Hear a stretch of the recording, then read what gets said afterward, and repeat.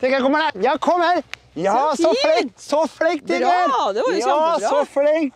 Ja, så flink. Hæ? Velkommen til en ny episode fra Valp til jakthund. Nå skal vi med og møte Ingrid igjen og få litt tips og triks til lek med hund. Det trenger jeg. Og kanskje noen tips som du kan ta med deg, du òg. Ja, Ingrid, hva er planen for i dag? Du, Planen for i dag det er at vi skal se litt på leken med tiger. Eh, vi skal se litt på samarbeidet mellom deg og tiger når det gjelder lek. Ja. Eh, jeg tenker det at eh, alle hunder må ha en grunnplattform før de skal starte å trene.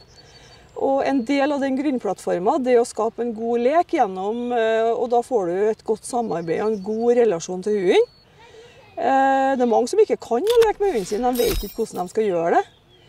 Derfor kan det ofte bli litt sånn De klarer ikke å ta ifra hunden leken, og det blir på en måte hunden som styrer leken, og ikke du som hundefører. Eh, og jeg tenker at hvis du klarer å skape et godt samarbeid og få hunden til å skjønne at hvis han samarbeider med deg om leken, så får han lov til å leke. Da er du på vei til å starte et eh, belønningsbasert lederskap. Ja. Eh, For du er eier av ressursen som hunden vil ha. Du bestemmer når dere skal begynne å leke, du bestemmer når leken avsluttes. Eh, Det er viktig at hunden leker med deg, at han ikke tar leken og springer og legger seg på en egen plass. Det blir ikke noe godt samarbeid. Nei, men det er det her. Ja, ja jeg har sett at han Tiger han, Tiger er en artig type, da. Ja, ja. Det må vi bare få sagt. Han er, hadde masse jakt i ham. Det er masse kamplyst i ham. Han er supersosial og litt passelig frekk, som en valp eh, på fire måneder skal være. Eh, Men det er greit å starte allerede nå eh, og få satt litt rammer for han på en positiv måte. Eh, For hvis du bare lar det sklire ut nå, så kan det bli vanskeligere å hanke det inn igjen senere. Ja, så du får igjen for alt du gjør nå? Du får igjen for alt det du gjør. Og du legger en god grunnplattform før du skal starte på videre trening, og det er kjempeviktig. Det er like viktig på en fuglehund som på alle mulige andre hunder, uansett hvem skal brukes til. Ja, Det spiller ikke rolle rase eller Nei, Nei. det tenker ikke jeg. Det er akkurat det samme uansett. Ja. Du må ha den grunnplattforma før du, før du skal starte treninga videre. Hvis du ikke har opparbeida en god forsterker, da, og du skal bruke en forsterker i forbindelse med trening eh, Hvis den forsterkeren ikke betyr ting, så blir det jo ikke noe god framgang i treninga. Nei. Så det er kjempeviktig å, å eh, få et godt forhold til den forsterkeren, og et godt samarbeid om den forsterkeren. Og jeg som har trent opp politihunder, er jo litt sånn hjernevaska på kong. Ja. Syns jo at den kongen er veldig fin å bruke som forsterker.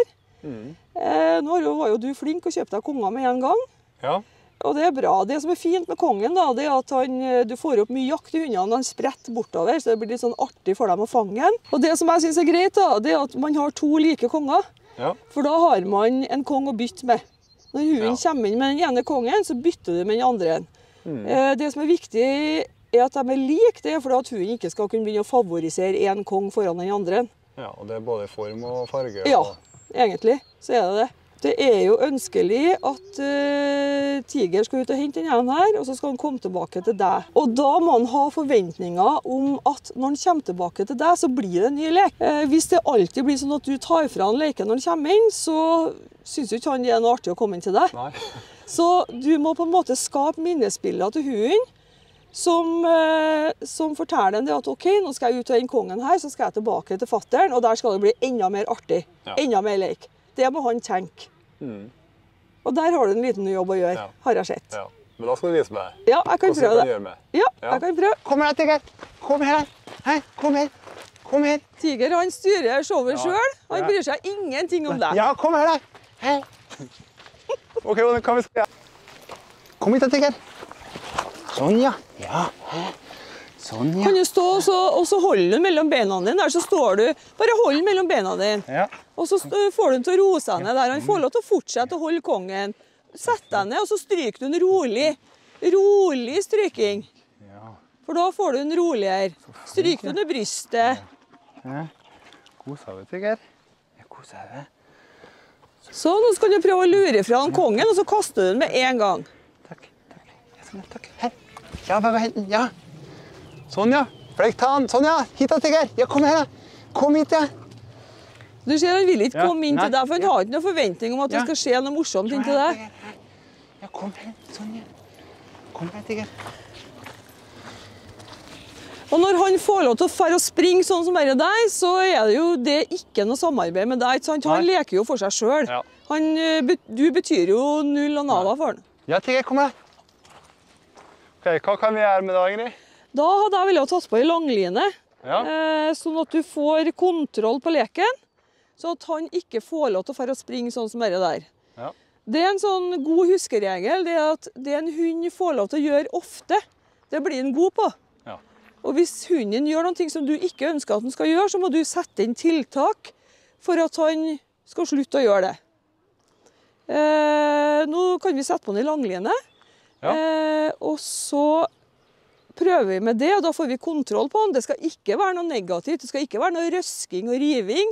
Bare sånn forsiktig trekken imot deg, Ja. sånn at du på en måte etter hvert lærer han at det å komme inn til deg, det betyr ny lek. Og han kan også stå der og få kos med kongen i munnen. Det skal være trygt og godt å være inntil deg med kongen. Ja. Jeg skal ta langlina, da. Det er noe evig surr. Det er et evig surr. vet du. Skal jeg vise deg hvordan du kan eh, brette den sammen, så den blir lett å få ut? Ja, det Så er jo slipper kjekt. du å bruke så mye tid. Så gjør jeg sånn som dette her. Åttetall.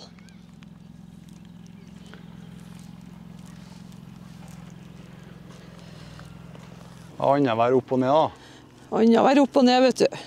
Det er sånn som jeg har gjort når jeg surra sammen spolina mi når jeg kjørte patruljebil. Ja. Skulle ut og fange folk på spor. Da kunne jeg ikke ha ei langline som jeg måtte bruke et kvarter på å få ut. Så da måtte vi surre den sammen ordentlig, så den lå klar i bilen til vi skulle ut og gå spor. Ja. Du skal jo ikke ut og fange noe, men det kan jo være greit å bruke, slippe å bruke så mye tid på langlina uansett. Er Sånn. Her, og så surrer jeg sammen sånn. Det som skjer da, neste gang når du kommer og skal ta ut lina, du bare tar det ut her, så gjør du sånn, og så er lina ut. Vi trenger ikke å hive kongen så innmari langt å begynne med heller. Vi kan eh, kaste den oppe her. Så. Sånn. Der, ja. Bra, det. Og så får den inn med langlina her. Ja, kom da! Bra. Her. På det. Kom. Her, her, her, her. Ja, kom, kom, kom, kom, kom. Se her, ja. Her. Å, så flink du er. Bra. Så står jeg her litt med en sånn, og så bare står jeg her og stryker den.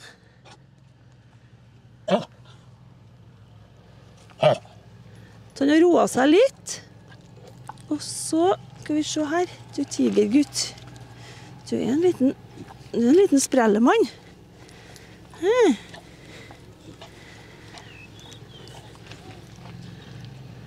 Sånn. Her, vet du. Ja, sånn. Her, ja! Ja, kom da! Se her! Ja, kom! Ja, kom her! Her, ja! Kom her, tiger. Her, ja. Ja, kom. Se her. Her. Se her, ja. Ja, kom. Ja, bra. Sånn, ja. Så fin. Så står han her, og så står jeg her og lar han få lov. Prøv i hvert fall å rose det. Holder Hold han sånn. Så fin. Bra gutt. Ja, du er fin, altså.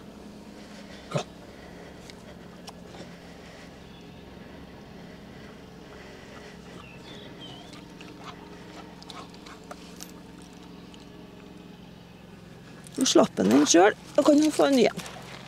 Fin. Ja, bra. Kom her, Tiger. Du? Tiger, kom her. Tiger, kom her. Sånn. Men eh, jeg har et tips, til er vel å leke uten unger. Ja, det tror jeg er et godt tips. Jeg tror det at den leken som ungene dine holder på med med han mye, Ja. de holder på å herje med han, Ja. leker med han. Han syns det er kjempeartig, og de syns det er artig. Men eh, jeg ser jo det når jeg ser at de holder på med at det er jo Tiger som styrer showet. Ja. Eh, og det går utover det samarbeidet med deg etter hvert òg. ja. Så jeg ville ha vært litt sånn restriktiv i forhold til å la ungene holde på å herje med han med, med leker og sånne ting. ja. Eh, Sett litt grenser for dem òg. ja. For det har du igjen for seinere. Men hva tenker du? At de ikke leker med leker med, men at de bare leker med seg sjøl, eller? Ja, men trenger de å leke så mye med den? Nei. Nei. Du må si det du mener nå. Jeg tenker at De kan være med å gå på tur med en og kose med en, og sånne ting, men jeg tenker ikke at små unger trenger å holde på å herje og leke med en valp. Nei. Det tror jeg kan bli litt mye. Ja. Og du har lite kontroll med hva som skjer, Mm. både i forhold til ungene og i forhold til valpen. Ja. ja, men det er gode Mm. poeng, det.